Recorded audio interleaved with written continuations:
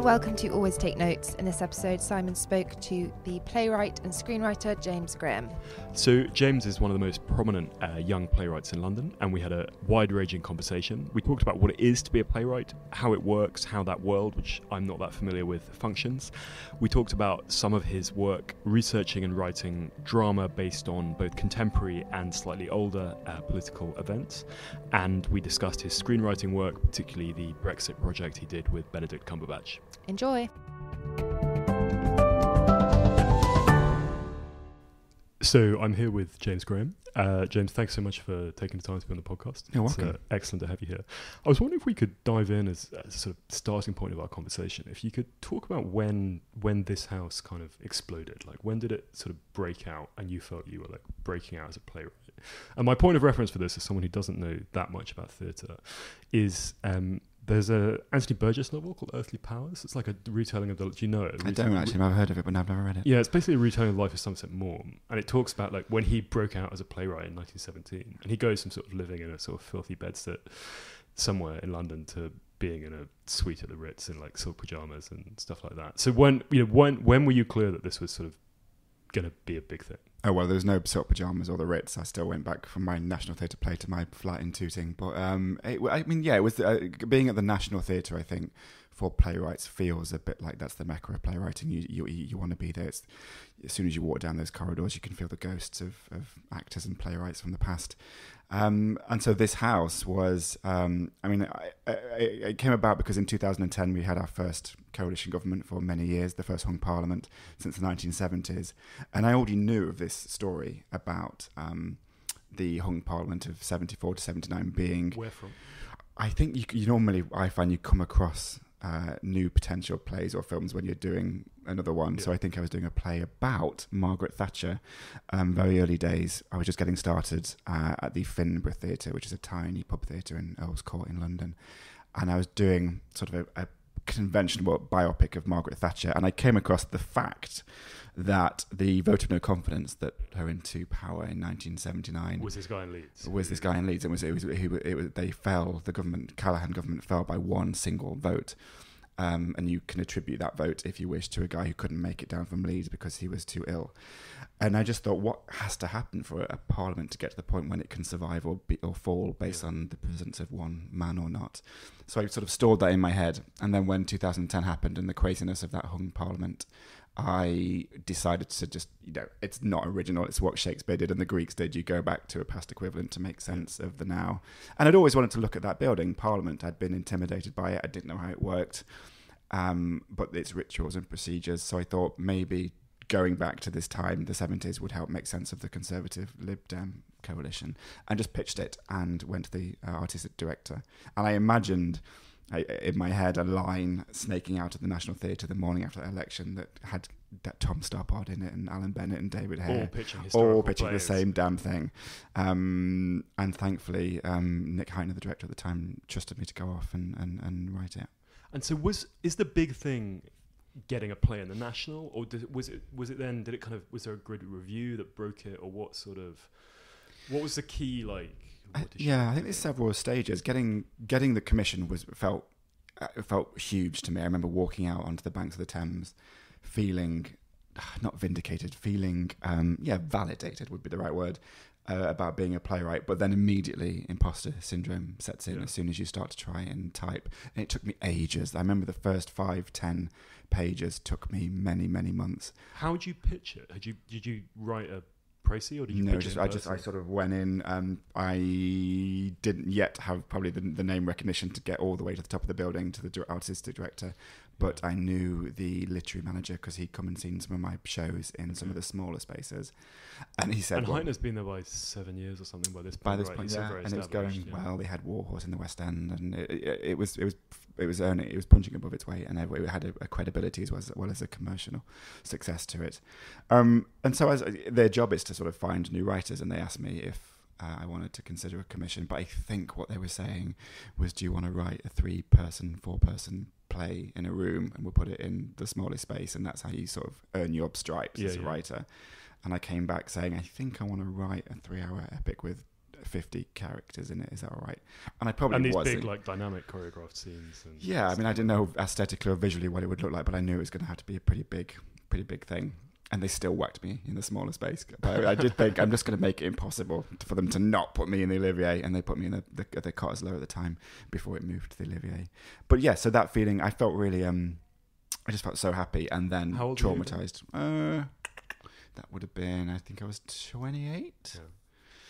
Um, uh, and for some reason, I just found it. I I, I overly uh, invested the creation of that play with too much too much significance. So I thought, well, I can't possibly write this play for the National Theatre It's a massive in thing my you're, bedroom. you, you're, that it's fascinating that it's that way around. You got the commission, then you wrote it. It's not like Yeah. you, you write the thing and then you're shopping. and I think I have to say, I think that's right. I think if you're as a writer, I mean, that never happened in my career before that. Yeah. I wrote mainly for free and had to do jobs to sustain yourself. And then if you're lucky, and I never was, you'd maybe get some royalties if uh, on like a profit share basis. So this was the first sort of real time that had happened. Um, and I was stupid. I, I, I, I sort of lost my mind a bit because I went. I thought, well, I can't write a play for the National Theatre in my bedroom because I only had a bedroom in a rented flat in London. So I, I used a lot of that commission to hire an office, which is so stupid. Don't ever do that Yeah. and just blew some most of that money.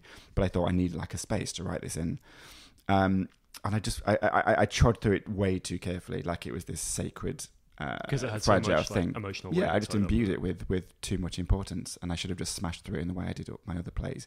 So it took me about a year that one, and I, I normally pride myself on being able to do at least a first draft Yeah. relatively quickly, sometimes in a matter of weeks. Um, and I just yeah, that one really struggled. Can we? We'll, we'll come back to that in a minute. But can we fold back now, like right to your sort of beginnings as a as a writer and so forth. So growing up in in Nottinghamshire, when what were your sort of early um, literary beginnings? And I saw on the film you were doing, you know, your ice dancing and Oh, stuff yeah. like that as well. But when when did you decide you wanted to write, and what drew you to writing drama as well? For me, it was television drama that really had a huge impact growing up. I didn't really have much theatre apart from the local panto every Yeah. Christmas and school school plays.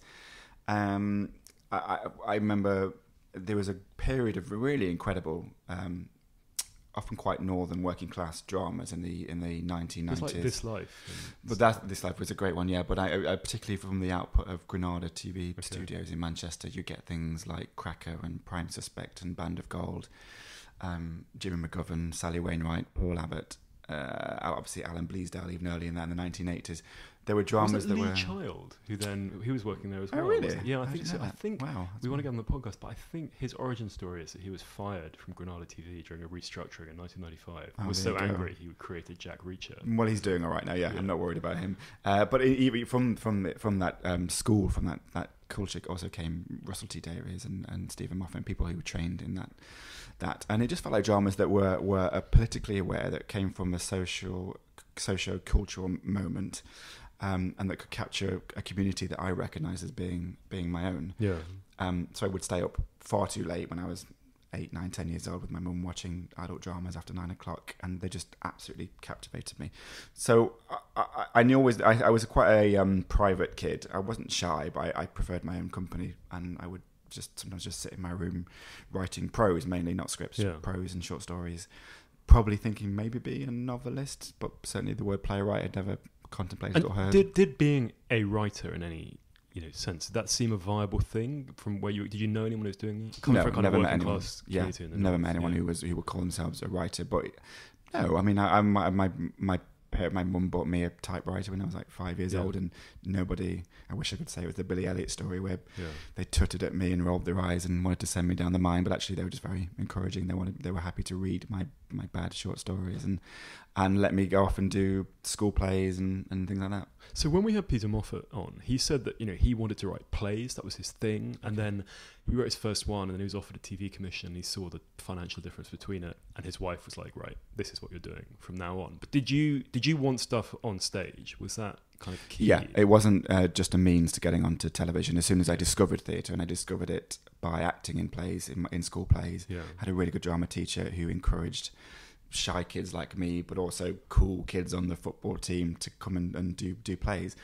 And immediately loved both the process of building a show with a group of people over a matter of weeks, and then just the without getting romantic and sentimental and cliche, the the electricity that happens in a in a live space where you're sharing something in the moment with a community of people, which you don't get on screen. I completely fell in love with it. So they, my school, um, a comprehensive school in Nottingham, created the first time they'd ever done an A level drama for a group of people who wanted to carry on with that work. And from that, I went to university, and then started writing plays there and taking them to the Edinburgh Festival. So theatre just became a huge. I didn't know enough about it. I felt really embarrassed when I arrived at university and I'd never heard of Brecht. And in fact, I remember some um, at the time, Nick Hytner, to circle Yeah. back, had just been made the artistic director of the National Theatre, and the department was agog and abuzz and excited that there was a new director at the National Theatre.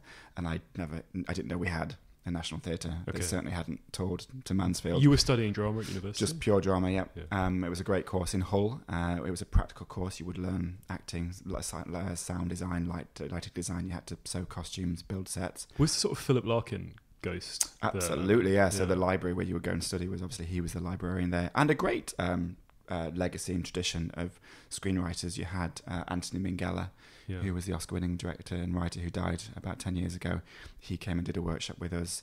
Hull itself, um, recently, the City of Culture has John Godber, who is, I think, the most performed English-speaking playwright behind and Andrew. Marvell, right? Yeah, yeah, yeah, Yeah. and um, they have now. Now they have a great um, A less contemporary writer, but Yeah, sure. Um, so it felt yes, it felt like a writers' city and a, and a writers' department. But yeah, so it was theatre, theatre, theatre, and I was very happy just to stay. Were you still in acting theatre. at that stage? Mm, sort of. I wasn't. I wasn't massively good. I was passable as an actor. Because how I'm again, you know, I, this is not real world, I know, but that, you know, being acting and writing, how much of a crossover is there between those two things? Do you think? Well, as we're seeing now, there's um, a, A real with, you know, buzz. Phoebe Waller-Bridge and uh, you know go back to James Corden or Ricky Gervais, or mainly in comedy, I guess. But the excitement of having a um, a star vehicle for the person who's writing it feels. I don't know the, the sense of ownership and the complete owner, authored world that those those people can create. I um I think I think that's great, but I do believe that they're also entirely separate disciplines, and uh, I don't necessarily assume a great actor can, can be a great writer and vice versa. But I, what I do enjoy and what I do love is working with actors in a rehearsal room and trusting their instincts. And if they're struggling with something, um, you have to interrogate what that is, and if they if their their objective is confused, or if they're sorry to be cliche, their motivation isn't immediately apparent or satisfying. That's great. You you, want- you want to soak that up, that stuff Yeah. up as a writer and listen to that. And so, what is the path to becoming a playwright? I mean, I'm again, I'm very familiar with how it works journalistically, or in Okay. terms of people writing fiction or non-fiction. But you know, how do you how do you do that? And how did you kind of find out, as someone who's not coming from this Milo, kind of feel your way through that? Yeah, it's a good question, and I'm guessing that there's no uh, one single path. I think the first the first barrier to leap over is the psychological one that Yeah, just course. just not even imagining that that's something that's completely viable or, or accessible to most people. Um, but once you sort of once you once you establish a love of theatre, you start reading play scripts. You buy them online for two quid, and you get access to to the the the three the you know the architectural drawing of a play, and you think, yeah, I could replicate that. I could put my voice into that. I oh, the only thing I can say is what I did was uh, well, I spent two years working in other jobs and trying to find time to finish a play, and then what other you- jobs were you doing? I was doing. I tried to do artistic, really related stuff. I was a stage doorkeeper at the Nottingham Theatre Royal, uh, which is basically the person backstage who welcomes new companies and sorts out dressing rooms and actors and the crew. Uh, so that was great. So I got to see touring West End shows passing through week by week by week. But on the down times when the show was up, when the show was up, I would be I would be typing away. Mm. And I, as soon as I got out, out of university, I, I panicked. I thought I must leap into this industry now, and I was churning out mediocre plays and sending them around the country and hearing nothing back. So I calmed Yeah, who are myself the down. who are the gatekeepers? Like, do you send to agents, or are you sending straight to theatres? well, way back when it was, you would send to most publicly funded, subsidised theatres may, will have a literary department where there's a literary manager Yeah. or at least associate directors whose job it is to read plays. That's getting my my interpretation is that getting that's getting quite narrow now, Mm. and um, often there's this term unsolicited where if you don't. Uh, if you're not if you're not represented by not an agented, agent, yeah. they won't accept unsolicited scripts. Um, but but certainly big theatres like the National Theatre and the Royal Court and big regional hubs like the West Yorkshire Playhouse, they they will often, especially if you have a local connection, Yeah. they will um, they will read your script and give you feedback. So that's all I did. I just sent off plays, um, and I tried to do my research, find the kinds of theatre that programmed the kinds of work that I was beginning to write, which was political histories, which at the time wasn't massively fashionable Yeah. for young writers to be doing. Uh, and I, I found the Finborough Theatre, which um, which was just just it felt yeah, it felt like that was the right fit for me. I was writing a play about Where- where Albert? Einstein's um, the Finborough. Yeah, Yeah, where- it's, the, it? it's in Earls Court in London. It's like a fifty-seater, very Sure. tiny, very small. Um, I was writing a play about Albert Einstein and his guilt about the atomic bomb and the the political. Um, uh, how he wrote letters to Truman and trying to encourage Was encourage he at that. Princeton by then? Was he? He was, yeah, yeah, and his yeah, and, he, he'd written uh, parts of his diary, and so I, I imagine the last days of his life when he was working out his his legacy, um, and kind it of was like during in the sort of Copenhagen vein. yeah, yeah, but sort of more reflective than that, but it's um, and more naturalistic than that. But it was. I'm not saying it was a great play, but it was. I wrote it during the Iraq War, Right. and the words "weapons of mass destruction" were all all prevailing. And I went back, which I would frequently do uh, for the rest of my writing life, go back to the past equivalent of what was the first, Yeah. what was the origins of weapons of mass destruction, and then try and find a strange angle into it. And I thought a physicist would be a fun way to do that.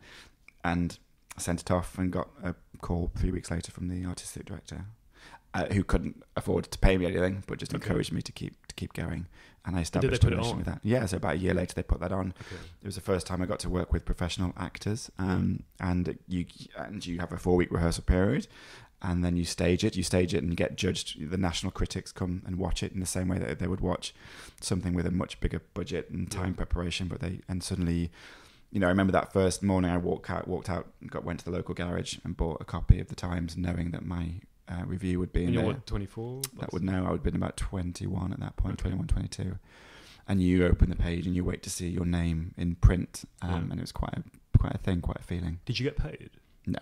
Okay. No, in fact, I had to use um, some of my overdraft, uh, you know, the generous overdrafts that you get for a student uh, student um, account. I used some of that to even contribute to some of the, the funding. So debt. and you, you're saying working with writers, is that, you know, again, forgive me, this is a very foolish question, but is it standard with, you know, new writing that the writer will be in the room, in the rehearsal space? or And are directors, are they cool with that? Absolutely. Well, for in this in the English culture of making plays in the British um, system, the writer is God, Okay. and people uh, either can Even if they're champion or uh, no. Sorry, living speaking. So if you're doing a new play, um, rightly or wrongly, most of the mechanics around a theatre is is, is is the writer at the centre of that process. Okay. Which obviously I'm biased, but I think that's great. And there there is even a culture of um, the right to fail. So the the court, for example, the Royal Court in London, will champion a risky play from a, a new writer that Yeah. may or may not succeed on critical or commercial terms. But that is the point. The point is to try and, and trying to fail and to nurture Okay. new voices. So you will find yourself, and it can be quite intimidating, but you'll find yourself at the very centre of the of the process, uh, whether that's development, write uh, readings, workshops before they put the play on, or certainly once you start rehearsing. Yes, absolutely, the director would want you there in the room, and you establish a relationship about how that's going to work. Personally, I'm always happy to sit right at the back of the room and let the director lead. And if I have thoughts, I will pass them on to her or him in a in a private moment. And I would also uh, try and establish a system whereby I can learn and rewrite overnight and come in with new Mm. pages in the in the morning and keep testing it and keep testing it and, and that's the way I like to work. And when did you come to London? I moved down here I think in 2003. And did that feel a necessary thing to do? I'm afraid so. Yeah, I was. Abs- I have absolutely hated it at first. I, Yeah. I, I found it very intimidating, and you don't know anybody.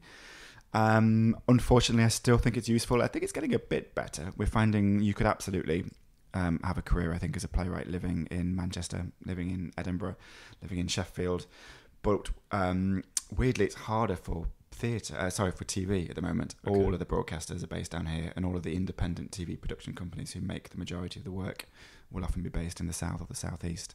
So I find that the number of meetings you have to do on a on a weekly basis when Yeah. you're developing a piece of television, you find you find yourself in Soho far too often. All the time. Yeah. And so, how did you then make your way from when you you'd had what one thing performed professionally when you came down? Yeah, um, I, I didn't. I wasn't able to financially support myself just from playwriting uh, for five years after that. I would say, Okay. um, and that was probably t- a television commission uh, for my first TV job.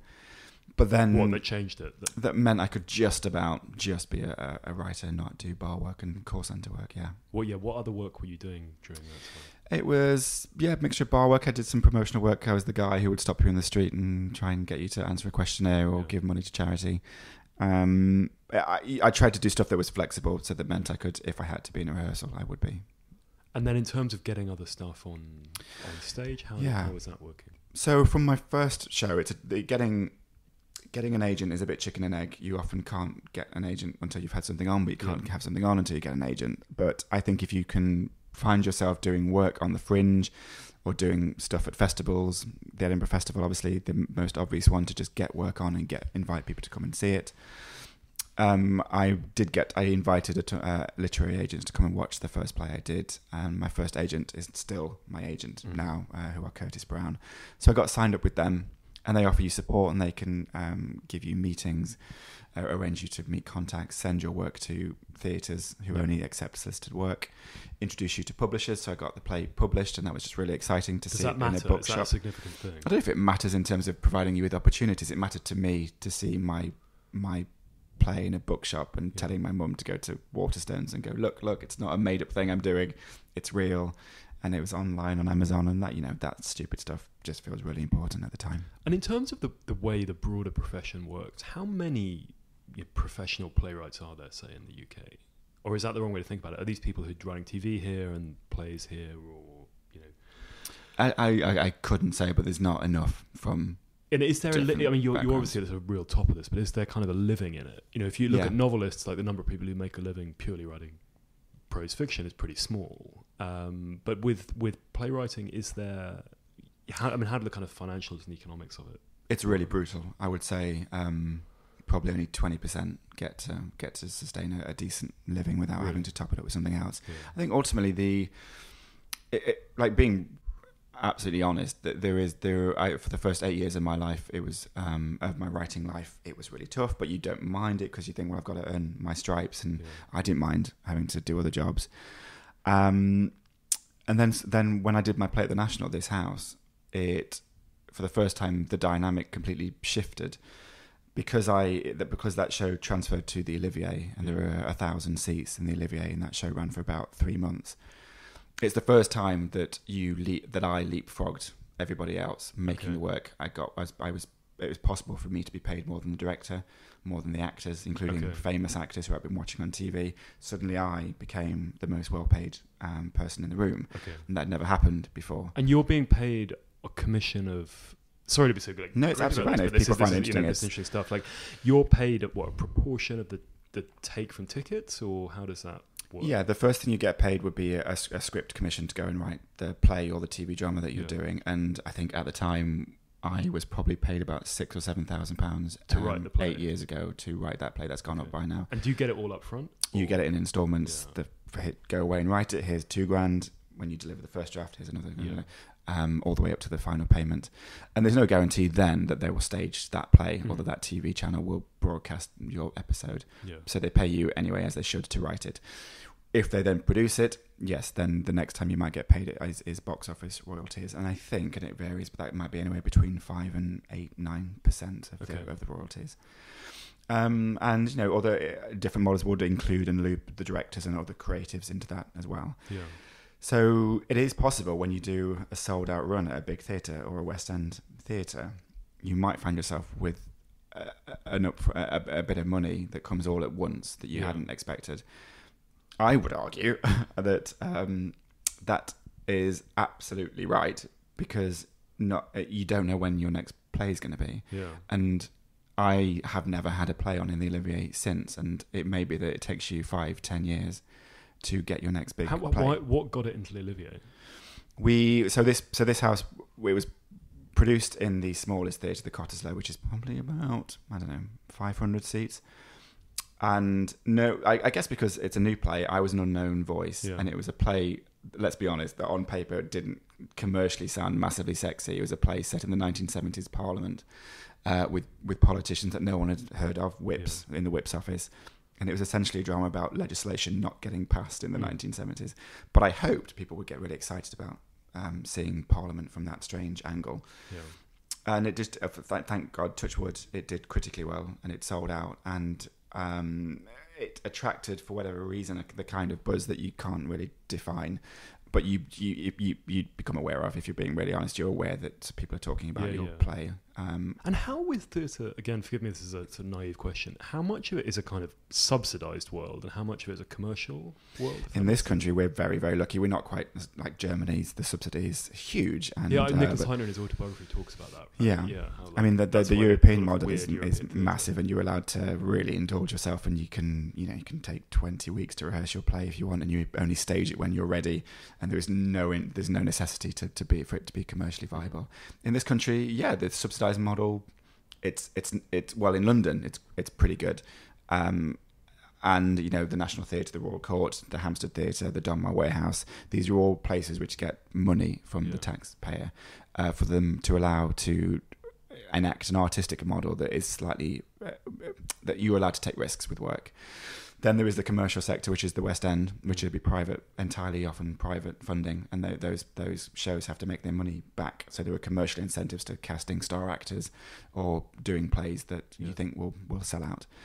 Um, in the in the it's it's tougher in, in regional theatres. The majority of the arts funding cuts that happened as a result of austerity have been absorbed by local councils withdrawing funding from most local theatres or arts bodies, so they have a much much tougher life. Um, And I was we're jumping around a bit here, but in in the film you sent me, there's the, the where you're talking about the play you write in the constituency office, where you're talking to Gloria Del Piero. You say you, you wanted this to be a West End comedy, and you were like unashamed about that. Like, what is a West End comedy? What what makes what defines that? Yeah, I suppose I, I said that because I suppose I, I when I would travel down as a 16, 17 year old with my family, you I, the first theatre I ever experienced was big, tarty commercial stuff. I think Mm. the first thing I saw in the West End, like many people, was probably Les Mis. Um, so I have an affection for it. I have, there's so many problems with it. I think it's. I think we're actually uh, we are living through a pretty extraordinarily good time in the West End. When I first moved down here ten years ago, there was a huge outpouring of um, frustration that there were no new plays, there were no new writers. The kinds of writers weren't representative of the demographic Mm. of Britain, and it was all musicals or movies on stage. I I think we're in a pretty healthy position. It's definitely not perfect, but um, there, there's a lot of new work uh, in the West End at the moment, and strong, um, serious plays with big ideas that is getting a commercial audience. Yeah. So, Labour of Love, the play um, you referenced, was a play set in my hometown of Kirkby in Ashfield, near Nottinghamshire, um, about a local constituency office, a Labour MP. And uh, but I wrote it as a, it was a West End commission. It was, and that was the first time that happened. Normally, you're attached to buildings, and there's concrete and bricks, and you go in that building, and you get a commission, and there's a rehearsal room in there. This was a, uh, a commercial producer, Michael Grandage, and Nick Frankfurt, who wanted something to put in a West End theatre that they wouldn't know what that West End theatre would be, but they would get a script, they would attach actors to it, they would attach a director to it, they would find a building, and they would put it on for a 16 week run in a West End theatre. And that is a different proposition Yeah. to being in a subsidised sector. And when did you start? When did you first do TV work? Was that on the back of this house? No, I managed to sneak one in before that. I had an idea. Um, it was, I think it was in 2008, and it was a story of a, a real life story again, as as became my thing, of a um, a local Lincolnshire council worker who was obsessed by Elvis Presley, and um, she managed to amass through stealing parking meter money, um, uh, through through stealing parking meter money. She managed to amass a fortune and establish the world's largest collection of Elvis Presley memorabilia in her attic, which was all stolen. So it was a it was like a Boxing Day ITV single drama, um, which I really enjoyed. It was great fun, and there was like a self-contained film. So that was a paycheck that allowed me to become a, a, a full-time writer, and then I never really Can came back to much TV. it was? God, back then, uh, you I think I was paid you on a broadcaster like BBC One, ITV, or Channel Four. You get a uh, you get the fee for writing it, which I think was probably fifteen thousand, and then when it's on, you get a, something called the principal photography fee, which is Which on is the, the on the right? yes. Well, actually, no, that's the same again. Okay. Um, so you get the, the script fee again uh, on the first day of filming. So it's sort of a well done for getting your script to Okay. the point where it's actually shooting. So you double your money um, if you get it made. And how much was it? So overall, I probably got paid thirty thousand for that Okay. entire project. Because yeah, I Which- remember when we had Peter on, he was like, he wrote, he'd written some, you know, critically well received plays, Right. and then he wrote an episode of Kavanagh QC, and he was like, "Wow, this is this is like a lot more money." You know, Yeah, it was. But having said that, again, for whatever reason, that didn't that paled in significance to um, the remuneration I got for this house in Oh, the, really? the Olivier. yeah, And oh, this will sound um, uh, falsely uh, worthy, but I, I, I did have a I found that really. I did struggle with that a bit. I found there was a moment of huge guilt that uh, everybody from the person who commissioned it to the actors to the designers to the director, uh, I, I, I received this paycheck um, Yeah, that I you- felt was completely on on quite, in terms of um, the percentages. I, it felt vastly vastly over what I thought I deserved. but you wrote it. I know I wrote it, but it takes a village to, to raise a child, and it takes a theatre to put a play on. And I, and you know, now all that money's gone, and I, that probably lasted me a year, and I was really grateful. But Yeah. at the time, I thought it was just the percentage difference between what the director was getting, and what I was getting. Sure. I couldn't quite get my head around that. Th- With the TV work and the work you've done subsequently, how has your work and your way of working fitted with what has happened to TV in the last 20 years? You know, the advent of these big, ambitious, and particularly kind of like the writer's room, you know, the idea you'd have a, a showrunner and multiple writers and stuff. How does your working method compare to that way of running things? Yeah, well, it's I when I first tried to um, get ideas away, it took. I, I, to be honest, I, I, I getting an original idea away with a with a TV producer or a network. It, it took me about eight years, nine years. I got so many rejection, so much rejection, and you would spend time working on TV series that you've never seen, and the, the, you could absolutely spend the majority of your writing life as a, as a TV writer just developing ideas that you get a bit of seed money for, but then never see the light of day. Monster by Joan Didion. It's it's on my shelf. I, No. I was recommended by an American cool. writer, and it's about how you know Joan Didion, famous American long form writer, sustained her lavish lifestyle for years by doing script doctoring for Hollywood. I've seen that documentary like- about her that um, I think it's on Netflix. yeah, yeah, nothing ever gets made. Yeah. yeah. But this book, again, I, I may be praising this wrong, but it's about how like she and her husband wrote a spec script about sort of really troubled movie anchor who had like a violent sex life, big drug problem, and killed herself. And then it got bought by Disney, Okay. and it got and it ended up being made in this like eight years and seventeen drafts later in this sort of schmaltzy Robert Redford vehicle. And the Right. story, and but you know they got paid a lot of money Yeah. throughout that. Yeah. Um, I, I, ultimately, after sort of two or three years of doing that, the idea of oh well, at least I'm getting paid. This has go, completely faded away. I just wanted, I just wanted Really? to, it to materialize into work that you could be shared and you could engage with people. And so that took a long time. In fact, actually, the the after 2008, this Elvis comedy, the next time that happened, I think was. Um, my own idea was around 2015, which was a drama called Coalition on Channel 4, Yeah, which was about the 2010 negotiation. and that was your and. That was your idea. That was my idea. That was the first time I'd gone to a producer or a broadcaster and said, "Here's my idea," and it ended up on screen. And w- were you were you working in this kind of showrunner model then, or was it just No, you so, writing um, stuff? I'd done a bit of that. Um, I'd done spend my time.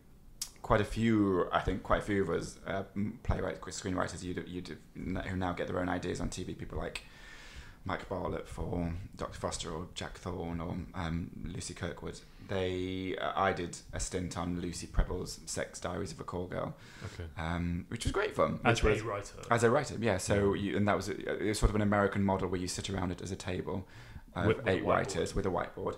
You're planning the whole series. There is a lead writer. It's their show. They created it. Um, you eventually will sort of be assigned your episode, but you know where it fits in the whole scheme of things because you've been in the room developing the whole thing. You're writing um, in the voice of a character that's not yours, that you've not created, but that you're trying to replicate and feel consistent. And that's a great discipline. It's really tough. It's really hard. And you dra- you do draft after draft after draft with a script editor and a producer giving you notes after notes after notes. So that was good. No, my other stuff mainly has been me on my own um, as a single writer doing a single film, which will be enjoyed in one sitting. And I haven't really got to enjoy that big American LA writers' room where you where you do that stuff. Can we talk about you know your interest in in this kind of historical stuff and Mm. engaging with current events and things like that? Both where did that come from, and then your your method, your research method for for you know finding this stuff out. I think it, I, I, I think it was an accident that I, I the first play I ever wrote was based on interviewing people from my hometown about the miners' strike and Not- Nottinghamshire being a particularly um, unique place in the miners' strike in that it split from the majority of the country and, and broke away and formed its own unions. It was a, it was a crucible of ideological turmoil, Mm. um, which can draw lines all the way through to Brexit now. The uh, so I, I that was my first. It was a so it was a political history, I guess. And the second play I wrote carried on that that thread of of trying to make sense of the now by going back to the recent past in the form of the Einstein play I did. And I guess I just carried on. I was just encouraged to keep uh, mining recent post-war British Yeah. history as a resource for great stories. And I Had anyone else done this?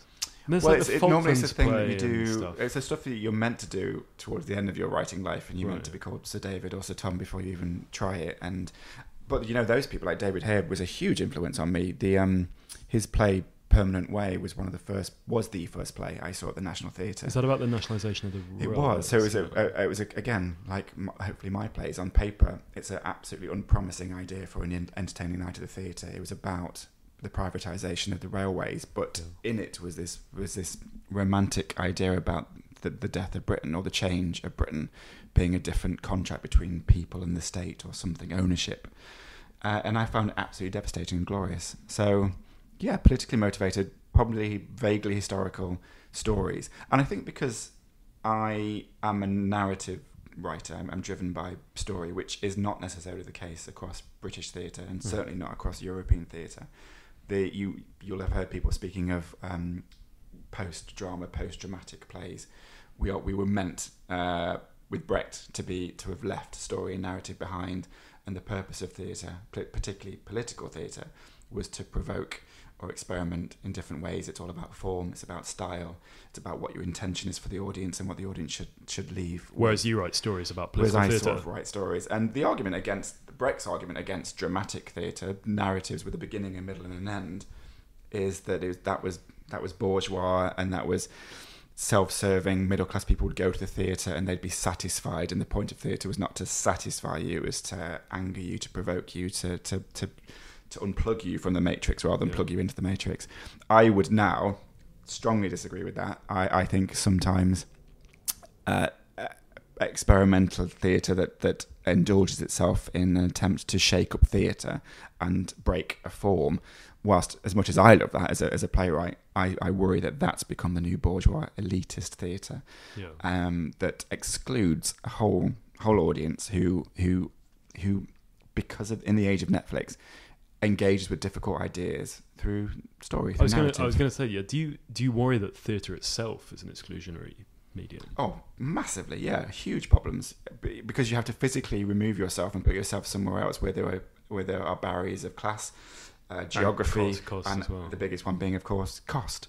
Yeah, you have to to get. You, there are people at the doors of a theatre saying, "Where's your ticket?" Or, if you I mean, don't I- give them, I- you can't come I in. think it's very interesting in that you know I, I often wonder about the different forms of writing in different times, and that you know if you're an ambitious writer in 1590, you'd be writing first drama, right? It was like what people did, or if you're an ambitious writer in 1815, you'd be writing like you know Byron type poetry.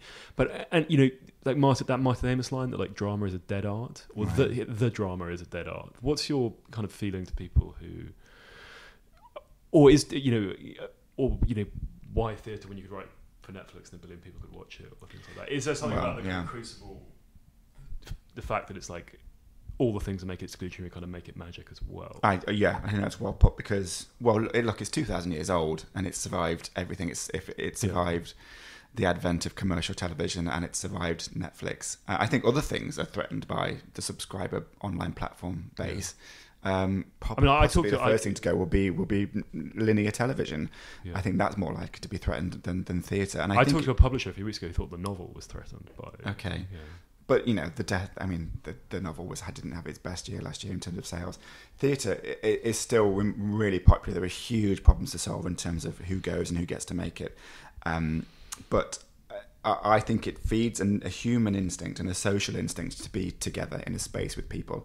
And as the rest of our entertainment gravitates to being more of a private experience, even movies, apart from your big, um, big tent movies throughout the year, whether it's an Avengers movie or a Star Wars movie, Yeah. People aren't going to the cinema anymore.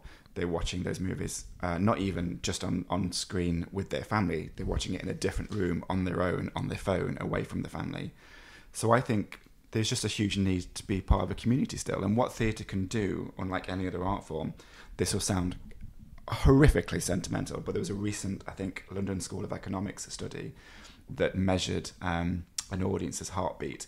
And in a theatre, Okay. a heart, the heartbeats of an audience starts to become in time with itself and it starts to become uniform. Oh, really? And even though that's a really naff metaphor, I do think there's something in that about, especially now, especially today, especially with tribalism and, and, and the political divisions that we have in this country, there is something about getting people together in a space and sharing a moment and tapping into the more reasonable, empathetic parts of ourself through a story that's played out in front of us and sharing that with people around you. I mean, one thing I was interested in, again, watching that film, was that, you know, you've, you've had this extraordinary way of getting these facts and the material of what happened and crafting that, but because you're doing it through drama, like, everyone loves you. This is what I thought was very interesting, and that people are sort of willing, you know, I, from my experience a journalist. like, if you want to, you know, reach into a difficult situation and, like, you know, find the narrative of what comes out, you know, you don't necessarily have the people you've written about sort of smiling and talking about how grateful they are for you afterwards. But the fact that it's sort of dramatized, even if it's only removed a few steps, Mm. or even that it's in a theatre or something like that, seems to kind of a, give a sort of license. Do you think? I mean, how did that? How how do the yeah, people? How do the people? Maybe a similar way is like the people you write plays about seem extremely positive about the plays you've written about them. Is that is which, that which can be universal? which can be good and bad. I think Yeah. that it, it is a it's a possibly a problem if you're writing a play about Rupert Murdoch and he enjoys it too much. I fully accept. you yeah that. you accept you you kind of delved into that. In, Yeah, uh, look, they're, they're meant to not enjoy it too much, and that's that's the proposition. But what but what I what I unapologetically strive to do is is to not misrepresent, and I think you can give these people a defence and a platform and a voice, whilst also prosecute them in a way that is humane. yeah. So And to understand all is to forgive, right? You know. yeah, and and and uh, the the act of the act of watching a play is to walk through the footsteps of somebody you would normally not even possibly uh, uh, uh, think about doing that. So that you know, I, I imagine there's a. Let's be honest, theatre is a majority liberal, progressive audience, Yeah. um, probably majority left wing, and I'm sure they wouldn't normally countenance the the, the endeavour of going. Why does Rupert Murdoch do what he does? What's he trying to do? What's the most generous version in my head I can imagine? And taking him at a different time in his career. And exactly, and that Yeah. helps that you go. I I, I took him as a younger man. We said this is Ink. James's Play Ink. Yeah. This is the play Ink, currently running on Broadway. If you happen to be in New York, um, yeah. So seeing him as a younger man with all the doubts and uncertainties and anxieties that a younger man might have naturally made him possibly a little more of an empathetic Yeah. character. But to you know to, to, to, to just paint him as a villain uh, who um, poisoned the well of, of uh, polite uh, news and, and discourse is to well it's politically and it's dramatically innate I think it's better to show a man who is trying to do something you may disagree with um, but you have to walk through his footsteps and understand why he's doing it and I still want you know pe- people still left that play going yeah still not a massive fan of the Sun but I think they were surprised that they'd had a two and a half hour journey of, of just I hope a more reasoned nuanced uh, interrogation of something you would normally just block outright. And how do you go about researching this stuff? You know, getting these people to. So you go to those people who, who then smile about you in a documentary afterwards, and and and, and I just but I did- to, to your point earlier about well, what's the difference between journalism and playwriting, and why do why do the people you interview be, maintain a suspicion, whereas people like to see themselves on stage and on screen. I mean, I think I think with journalism, the objective, I think, is for someone to say like, it's kind of similar. This was fair. You know, I may not agree with all of this, but like Yeah. this was fair. Right. You know, and that you've. You, what what I strive to do with my work, which is completely different, is you know to, you- you're writing about a, di- a world, you're going into a different world, and you, what I want is someone who's in that world afterwards to come and be like, this is bang on. Right. You know, that Yeah, yeah, that for me is the most satisfying thing as a Yeah, as a well, well, me too. So the best, the most satisfaction I got from this house was having all those politicians come over the river from the Houses of Parliament and sit and watch it and go, yeah, that's what it feels like to be in a late night vote when it's tied or when it's a really knife edge uh, count. Um, I, that really satisfied me, and I was really pleased about that. And that's what that's in a way that's what I'm interested in when I go and interview these people. It's Yeah. not about finding a gotcha. It's not about them slipping up and telling me something they didn't mean to. It's conveying the sense of the world of what it feels like to be in these environments that feel very distant from the majority of the audience. Uh, Most people don't know what it's like to be in a tabloid newspaper office in the 1960s, what it Yeah. smells like, what it feels like, what time does it start, where'd you get your lunch from, how much smoke is there, when do A you lot. start drinking? Yes, a lot. How much swearing is there? A lot. Um, and in a way, I think people are initially confused that that's the stuff I go in on first. My first questions are never big, overarching philosophical stuff. Yeah. It's I don't understand at what time do you start work? Do you sit opposite somebody or do you have your own desk? It's But really pre- presumably it's stuff. different also prying and trying to find out what happened in the 60s as opposed to like coalition or something where it's really immediate. Yeah.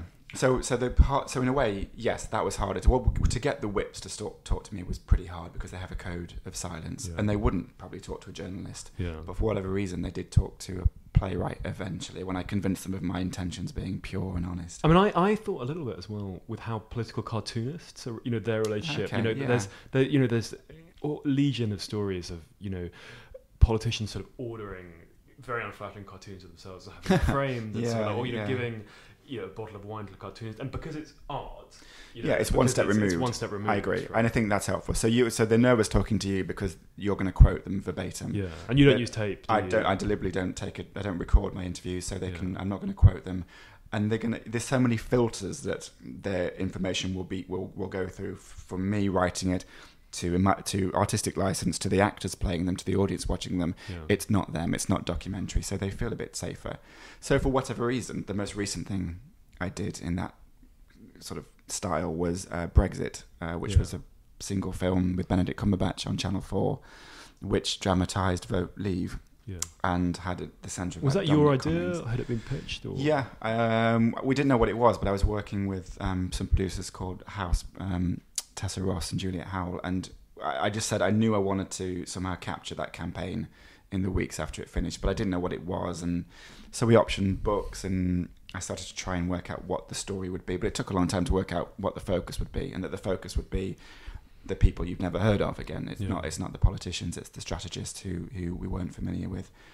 So, you know, Dominic Cummings, who Benedict Cumberbatch played, was the director of Vote Leave, and since the since that referendum, hadn't really done interviews, and Yeah. famously has not appeared before Parliament, despite requests to give testimony. But he would say because he doesn't trust that process. Uh, so. I was very grateful and surprised, and you feel a responsibility as a political playwright to use this. For whatever reason, he chose to speak to a, a, playwright and, Yeah. give, and and introduce me to the other people on that team. Revealed things that hadn't been revealed before, and I think to to your point, it's because it's one step removed, and it feels like, and I hope, And maybe it's more enduring, right? People think like it's, yeah, and you know, millions of people watch a TV drama, and maybe millions of people don't read a, a, a long Observer investigation, course, and, uh, yeah. and so yeah, and I, I think the and the act of humanizing people, I think, is really important. I'm I'm a massive fan of you know the thick of it and Veep and the great tradition of bringing these people down through satire and through mocking them. I think that's Yeah. really important. But I also think counter to that, I I I, I enjoy doing the opposite. I enjoy doing um, going the entirely the other direction and humanizing beyond all expectations people who you wouldn't have any sympathy for. Because what I found watching that, what I thought was interesting was it, was, it, it struck me that this is written by a playwright, right? These are like tight scenes where, you know, in rooms and stuff like that. Did- Were you ever tempted to kind of, you know, West Wing it a bit? You know, have like oh god, yeah, what walk and talk and yeah, uh, walking, talking, like big, you know, panorama. Yeah, but I- and well, you know, Aaron Sorkin I worship at the altar of, but I uh, no, I hope you. I mean, what you ultimately want is to find your own style and your own Yeah. voice. Um, but I love, I love, I get geekily uh, fascinated by systems and processes, and I, I'm a big believer that in unlocking a process, how you how the sausage is made. how the sausage is made. Exactly. How, as a whip, you get uh, a drunk or a sad member of parliament through the lobbies from A to B. How you make a newspaper and sell it and survive. How you win a referendum campaign using data and messages. How you come up with those messages Yeah. and how you target them. I think within the the minutiae and the mundanity of that lies bigger, grander poetical truths. And I'd be really interested to know a bit about your, your writing process, and I'm wondering if we could link that with the Brexit thing and the script leak, right? So that an earlier an early draft is leaked. Yeah. Could you explain a bit about what your writing process is in terms of going through drafts, and you know what what was revealed then, and why Yeah. was it problematic that that was revealed at that stage? I think whether it's a film, TV drama, or a play, it's pretty much the same thing. I start researching, and I might do that for a couple of intense weeks. but then I'll eventually start trying to structure through planning what Okay. that story is by putting that information into Do you use scenes and what, that software program for writing scripts? Final draft, Yeah. yeah. It's kind of frustrating. It's the industry standard, and you have to use it. Right. So you have to buy it. It's like 300 quid. It's very annoying. But luckily, um, you might have a producer who might get it for you. Uh, and I write my screenplays on that, but I write my plays on Word. I don't Okay. know why. And, you know, the first day is. But you font- structure. You have a structure before you start writing dialogue. Pretty much, yeah. I know. Um, I know the destination. I know I'm driving from London to Leeds, and I'm probably going to stay on the A1. Yeah. But I will absolutely enjoy discovering a side road and going off in a different direction. But I just I wouldn't know how to start writing if I didn't know what the end was. okay. And into that, you have all this research. You have too much research, um, but you start saying, "Okay, I'm, I'm gonna. How, how am I going to order the reveal of this information?" Well, when we had Ian Rankin on, he talked about how at the beginning he used to research before writing, but then he realised that was a nightmare because you'd go down, you'd research all the stuff you wouldn't use and everything Yeah, like that, yeah. and he would then write a draft and then know, oh right, I need to know this bit about blood testing. Or That's exactly what I do. Yeah. So I start just to give me the confidence that I can roughly replicate the world of a 1960s newspaper a Yeah. bit, so that I'm not. It's almost to protect myself because the act of writing is quite humiliating. As soon as you start, you have this wonderful idea in your head of a play set in a newspaper offices on Fleet Street that will say something huge about the deterioration of our national conversation, and then you start writing, and it's so um, simplistic and crude and devastatingly thing, like, obvious. You start with a vision and end with a compromise. Right, exactly. Yeah. But you're compromising from the very beginning, and it's so far away from the purity of what you imagined.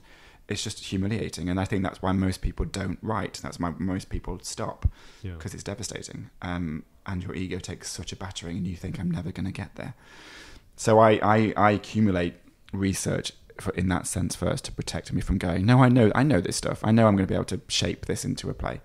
But then I will start writing because exactly as Ian said, you will think your play is about one thing, but it's, Yeah. you suddenly discover it's about entirely something else. And at So- what stage will you share it? What how many drafts? I'm go through? reasonably resilient enough to pretty much always share the first draft. I Who think with a producer or a director. If it's TV, it'll be a producer, the people who commissioned you, and they will work with you on draft two, draft three, draft four before you show it the broadcaster before they Yeah. come in on it. With a play, yeah, with the director of the theatre. And so with Brexit, what was the version that got out, and how did that change between you? It was quite close to. Um, it was quite close to the first draft. Not Who- who quite leaked the first draft. We don't know. okay. But it will be. It was a kind of Are they now draft where Thames? you. well, unfortunately, there, there aren't many people who it could have been. Um, It was a reasonably tight circle at that point. So this was way before we had a director. This was way before we had cast and anything like that. Um, so what it in those sort of drafts when you're building it with people that you trust, you just leave massive gaps. Mhm. I was like, oh, insert insert research here. Yeah, I've yeah. no idea whether they met in a park. I don't know. Uh, this is the basic dialogue of I think what Arron Banks would say to Nigel Farage, but I don't know yet. Yeah. But you need to start, and then you go off and keep doing your research all the way through. So the draft that um, that leaked was yeah, uh, it was. I, I would say it was one of the drafts where I was feeling a bit fruity and reckless and trying to find a tone. So it was a mischievous draft where I was saying maybe we could set them on a yacht and maybe we could have it. And Yeah. you know, you should be allowed as a writer to, um, in the privacy of your own mind and your own office, to play around with that stuff. Never expecting that Steve Bannon, uh, as the advisor to Donald Trump, would get hold of a copy and feedback to it.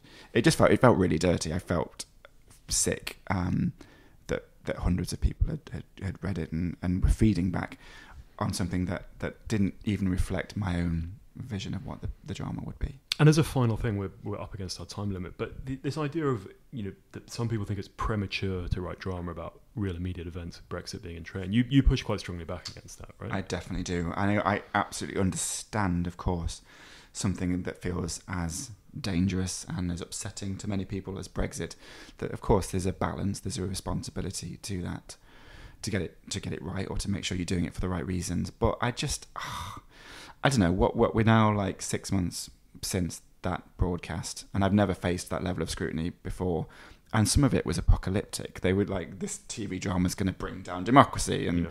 Um, it's it's such a threat to society. And I think in the fullness of time, I hope a lot of some of that commentary feels quite un, uh, exaggerated. I, I just think, and I can I, again, I can be overly romantic about this.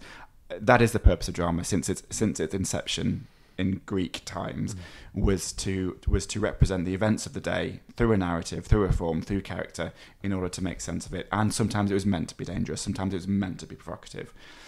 So the idea that a, a nation or a people can't tolerate or or, or survive uh, art or storytelling as a way of making sense with the world, I just I just completely reject. And I actually think that's so dangerous to say. Uh, we have to wait for a story to for to entirely run its course before artists can make art about Mm. it. That is ludicrous, and you tell that to the beat poets of the '60s or to the musicians who wrote uh, war protest songs. Tell that to people who tell that to Alan Bleasdale who wrote um, the, Boys the with Black Boys and Black stuff in the middle of the th- you know. It's ludicrous. We have to use story to make sense of the world around us. All right, James. Well, look, that's an excellent note on which we'll finish. Thanks for being such a, a gracious and candid guest, and wishing you uh, all the best with your numerous projects. Thanks very much.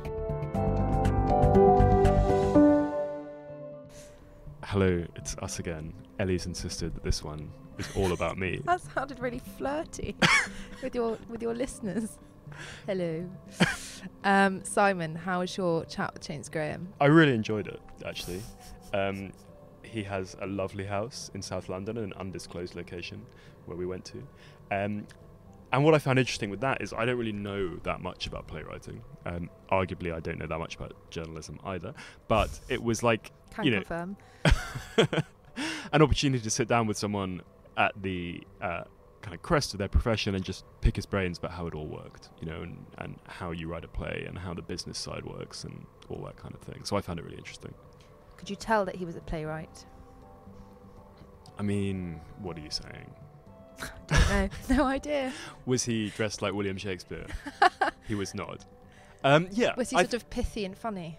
I, I think the bigger distinction that I've seen on the show is not between like what kind of writer someone is, but between somebody who's primarily a writer and someone who's like running a newsroom. You know, when we've had editors on and stuff, they're different. Would you agree?